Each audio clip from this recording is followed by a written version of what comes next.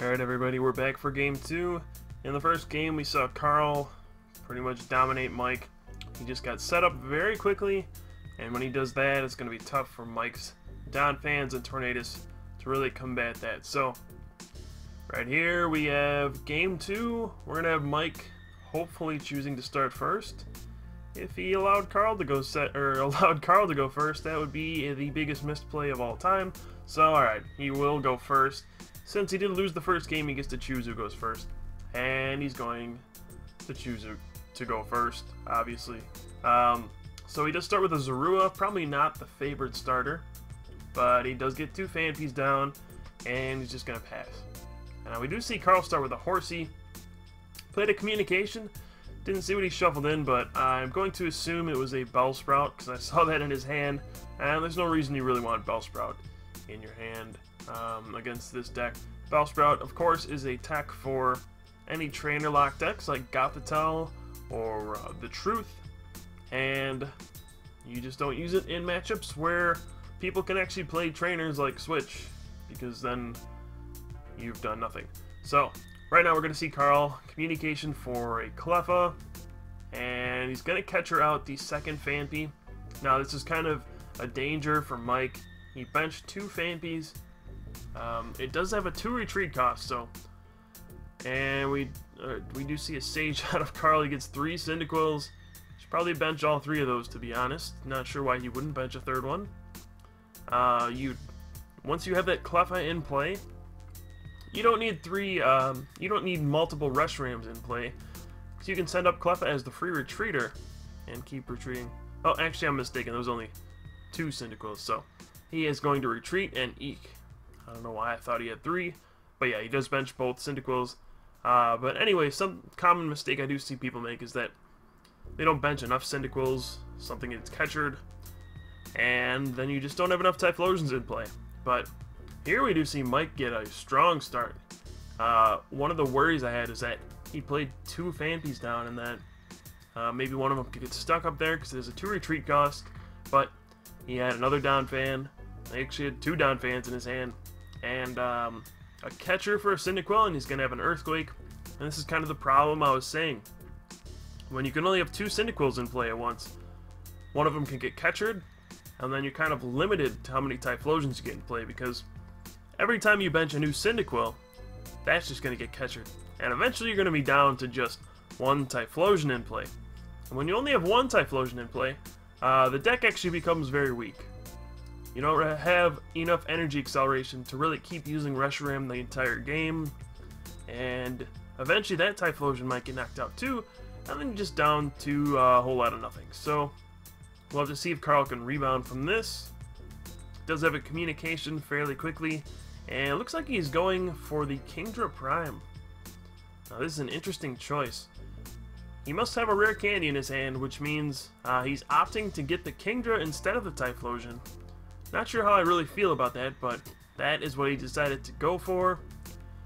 He's going to go for another Collector here. Uh, get two more Cyndaquils and then a Reshiram. Now this is the right thing. You need to bench as many Cyndaquils as possible here. Um, try to make sure you can get two Typhlosions out. Because if you don't, you're going to have some trouble. Now, I do not, I do not believe Carl plays any way to attack with the Kingdra Prime. Um, it's just going to be for Spray Splash in order to set up Mike's Donphans for knockouts. Now we will see another Eek. He does have all three Cyndaquils down, so things are going according to plan for Carl. We'll see if Mike can keep the pressure on uh, from his side. So we do have a Cheren for three. And I did see another catcher there, so that is a big deal. Now, where is he going to go from here? Um, one of the tempting things Mike could do is uh, he's got a communication. Now, one of the traps he could fall into is to grab Zoroark. I did see a double colorless in his hand, and uh, if he grabs Zoroark and puts a double colorless on it, I feel like this is the wrong thing to do because you've already seen a bunch of them. Uh, catcher does exist, and if Carl were to get a uh, Typhlosion and then a catcher onto the Zoroark and Blue Flare the Zoroark, then Mike's really got nothing to deal with Reshiram. There's just not a whole lot. And uh, Zoroark is his really uh, only option to knock out any sort of Reshirams in one hit. So, uh, you, you only need two energy to attack with Zoroark. So, you really want to hold on to the double colorless and just wait until you attack in order to uh, attach with it. If you attach early like this, you run the risk of just straight up losing your double colorless and your Zoroark. So there's no need to attach it before you attack. We're gonna see if uh, it comes back to bite him, but I don't know. Um, that's something I worry about a lot. I would rather have him bench a Tornadus and put a double colorless on that because that's something you need to set up in advance. You need to use two energy attachments to set up a Tornadus. Whereas the Zoroark only takes one energy, and then you can uh, foul play with just a double colorless. So, not sure if that's going to come back to haunt him at all, but alright, we're seeing um, a bunch of communications out of Carl. He now has two Quilavas in play, so one of the unfortunate things about Mike's last turn is that he did not get a second energy to put onto his Donphan. So unless he gets a catcher and then... Alright, so he's going to play it on a Phanpy. So unless he gets a catcher and two plus powers, there's no way for him to knock out a Quilava. Now, one of the other things that putting down Tornadus last turn would have uh, allowed him to do is um, catcher out Quilava, and then get a switch, and then put an energy onto Tornadus, and then get a knockout on Quilava. Now, if Mike can knock out one of these Quilavas, he will be in a superb position to take this game.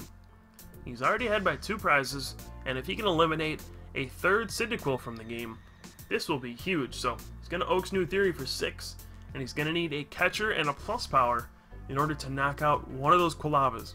If he does this, I am pretty sure he'll win the game because he'll be up by three prizes, and those will all be Cyndaquils. The first card is a Junk Arm.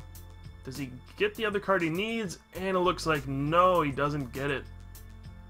So now he's got a decision to make. Do I want to use the catcher this turn, uh, even though I'm not really going to knock anything out? Or do I hold it and save it for later time, maybe? So he is going to Junk Arm discarding a Collector and a Zekrom.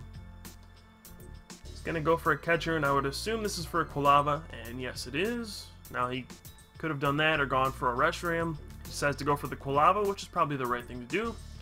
And now we're going to see if Carl has the cards to pull off a Blue Flare this turn. So right away, Carl evolves a Typhlosion, and uh, right off the bat, it's actually the wrong order to do things. He has a fire in his hand, he just could have retreated, paid the one retreat cost for Quilava, and then uh, retreated to Reshiram and then evolved. But now this way he's got to pay the two retreat cost for Typhlosion. Uh, just kind of did things out of order. It's actually a very big deal, something you got to pay attention to. Uh, he's basically paying an extra retreat cost for no reason. And that can actually come back to really ruin you. Um, so we do see a Junk Arm, I believe, for communication, and we have another Typhlosion, so Scary turn for Mike. Even though he's up two prizes, now Carl has this complete setup. The Kingdra, two Typhlosions, two Reshirams. Um, and there's not really any free prizes for Mike to take on his field. Now, if that Zoroark does live, he can knock out Reshiram for sure. Um, otherwise, alright, so we're going to see Carl use two Afterburners to retreat his Typhlosion and then attach to Reshiram. Gonna see what he does from there. Uh, so, I guess one of the things that uh, not attaching to the Quilava to retreat did was now his uh, Reshiram is clean of all damage, but it's not really relevant when he knocked out the Zoroark. so, this is what I was worried about with Mike before. He committed all of that stuff onto his um, onto his Zoroark, he just basically lost the double colorless energy for no reason, and those are very precious resources. You only run four in a deck, so it's tough to see that go down. And right, uh, right now, Mike's got the one prize advantage. He's got the damage on that Typhlosion on the bench, but honestly, he doesn't have much else. I didn't really see any supporters in his hand.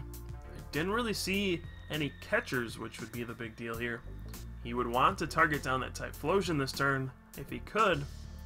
Um, basically, all he can do is Hurricane this turn, and that's not a way he's going to win the game. He's going to two-hit this Reshiram. First one with Hurricane, the next one's going to be with a Donphan. But from there, oof, you can't trade two for one like this. And that's basically what you're doing because that Kingdra's in play. Now he does have two free catcher prizes on the bench. He does have that Typhlosion, the one with 90 damage on it, and the Cleffa, which is a free knockout for anything that can basically blow and uh, knock it over with a slight breeze. And um, yeah, as we can see, all right, so we have a Pokegear from from Mike. This could be big if he hits a supporter. That's gonna change everything. And he does hit a Juniper. Wow, uh, that's exactly what he wanted. He didn't really have much in his hand. So right now it's tied four to four. We we have a bunch of Donphans, all with 10 damage on them. Now this is a big deal because Kingdra Spray Splash puts 10 more damage on them, and then Blue Flare can knock out the Donphan. And basically, when you're playing Donphan, you're just um, kind of assuming that he'll be able to take a hit, and in this case, he really can't.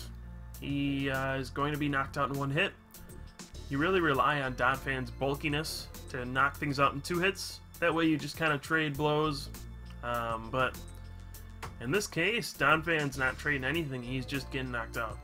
And right now we do see Mike drew some pretty good stuff. He's got a catcher, a junk arm, and a whole bunch of stuff. So gonna junk arm, or actually catcher for that Typhlosion.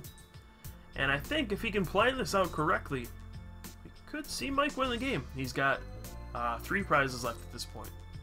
He has Let's see, a Cleffa, free to knock out. He has a Reshiram, free to knock out as well.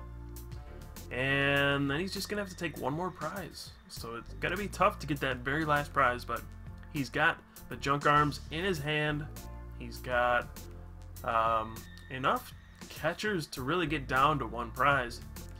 Now the question is, can he score that crucial last knockout?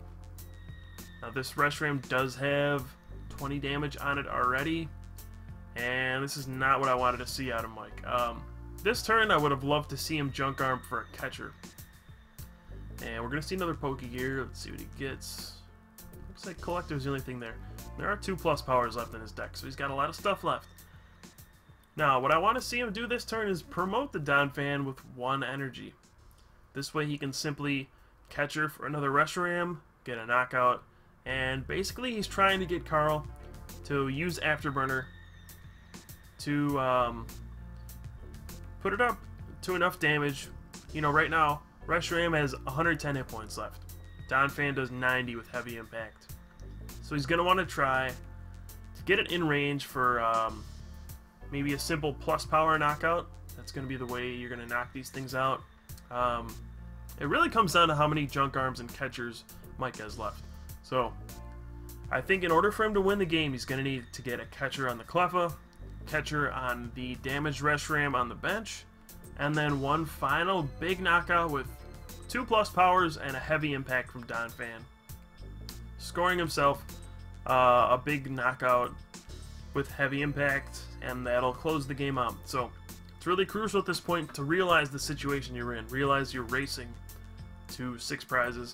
And um, Right now you're tied, you have the advantage of being able to catcher first. And oh, he makes a crucial mistake. He goes for the Typhlosion. And he's actually wasting all of his junk arms. I'm not sure what Mike's doing here. Um, oof. kind of what he didn't want to do. Uh, he's kind of blowing all of his resources here. He did go for the potion to make sure that Carl could not knock him out in one hit but I really don't like this. Um, he's going after that Typhlosion, but Carl does play Switch. Even if he didn't, a simple attach, an Afterburner to retreat, and then a um, catcher would be able to really uh, drag out either Tornadus and uh, Outrage for a knockout, and then Carl would take the prize lead, and then you really haven't gotten yourself anyway. So that was a big wasted turn for Mike. He did not recognize the situation that he just needed to take prizes. Sometimes you need to go for Typhlosion, definitely. Earlier in the game, this would have been a perfectly fine play. But at this point in the game, he needs to just take prizes. He needs to catcher. He needs to get cheap prizes. And he just isn't doing it. Uh, it's going to give Carl a big window of opportunity, uh, depending on what happens here, of course. So we're going to see uh, retreat, the attach, and the afterburner. Reshiram comes up. And does Carl have any way to catcher? And no, wow, so a big opportunity from Carl missed as well. And Mike's uh, opportunity is swung back around, I guess. Um, so both players have missed opportunities there. I really think Mike should have gone for the catcher knockout. And then this turn he would have gotten a catcher knockout as well. And then he just would have had to get that final, final prize to win the game. But it's not looking like that. Um, to have to figure out something. Uh, he played a bunch of junk arms last turn, which is really not helping him right now. He played two junk arms, I think. Uh, at least he had two in his hand, and now he has none. And he's just going to have to heavy impact for the knockout. So I don't know how many catchers he actually has left. If he had two, this game would be over. Cleffa is a free prize, as I've been saying the whole game. That Typhlosion on the bench has now become a free prize because it's got 100 damage on it. And that's just going to be it. Um, if he can knock out two Pokemon, he wins the game. But if he can't, he's basically got two turns to win the game because Carl, he's going to be able to knock out things with Blue Flare. That's just the reality of it. He has Typhlosion, Reshiram, boom, he's going to knock stuff out. Now, if Mike did hit a catcher this turn, the game would probably be over, to be honest. Um, he just has to catcher out Typhlosion, and then Carl is out of energy acceleration, and I don't see a way for him to really win. Um, so right here is the big turn. Does Mike get the catcher? He's got a Juniper or an Oak's New Theory, and in this situation, you certainly need the catcher. You just go for it. Go for the Juniper. Um, he's going to count how many cards he has left in his deck. It looks like nine, so plenty of time to win the game if you do Juniper. There we go. He's going to draw seven. Does he get the catcher? He needs to knock out the Typhlosion this turn. If he doesn't, he's in trouble. And no, it doesn't look like it. So this is what I was talking about before. Um, if Mike would have promoted the other Donphan with the one energy on it and just kept Earthquaking, then he would have that Donphan with the two energy on it and be able to heavy impact. And he has those two plus powers in his hand. You can see there's a catcher in the deck. He has those two plus powers in his hand. He could have used heavy impact to uh, hit that Reshiram for 110. He would have been down to one prize. And then the game really would have been over. Uh, there's still that catcher left in his deck. I think he has a supporter in his hand to go get it. And uh, a big missed opportunity from Mike. He really had control of this game, and it just slowly slipped away. He gave Carl too much time to stabilize, and at this point, I don't see a real way for him to win. His only way out is going to be to um, double plus power and Hurricane for 100, putting Carl at 120 damage, and then hope he doesn't have a fire energy to use Outrage, because Afterburner would uh, knock himself out. And there's a fire off the top, so uh, what do you know? Carl did have a Juniper in his hand and some other stuff, so looks like this one's gonna go in the books for Carl. Um, he's gonna be able to outrage for a whopping 140 damage on this Tornadus. We're just getting some afterburner damage onto Reshiram. And if I'm seeing this correctly, I think this is going to be a win for Carl. I don't know if Mike can bust out any crazy stuff. Uh, we did see his deck and there's not much left. But it's not looking good. Um, he had plenty of opportunities to seal this game out. He was two prizes ahead. He knocked out two Cyndaquils, actually. And that was a very big deal. But, um, that's going to be it. Nope, Carl drew one too many cards. um, at this point, it shouldn't really matter, but hopefully that's not a prize penalty, because that would impact the game completely. and really turn a win for Carl into a loss. So hopefully they don't do that to him. But if there's nothing that changes here, Carl should just be able to take two prizes in a row and win the game. So there we go. There's an outrage. There was no penalty assessed, probably a warning or something like that. And Mike can see the grim fate in front of him. All those wasted junk arms before coming back to haunt him.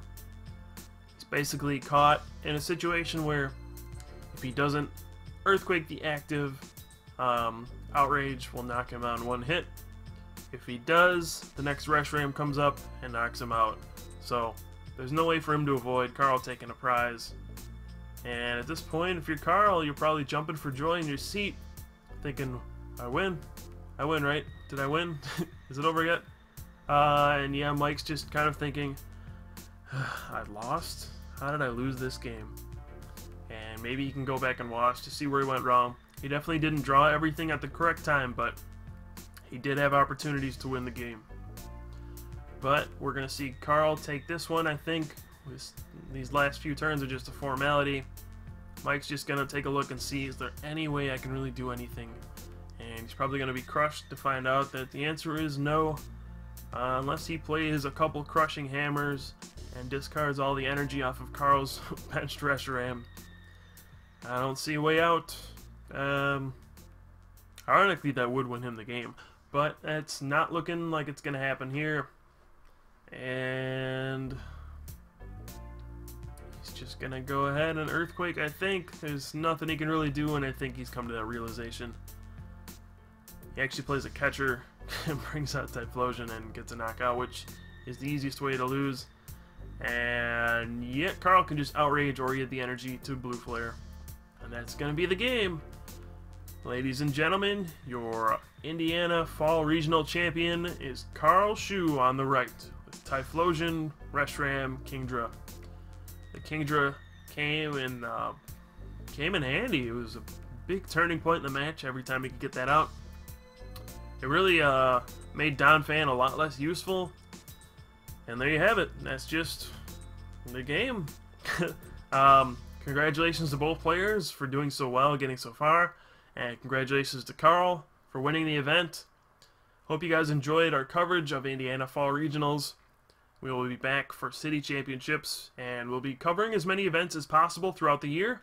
So, thank you for watching and supporting us. We appreciate everything, and give us some feedback to know what we can do better.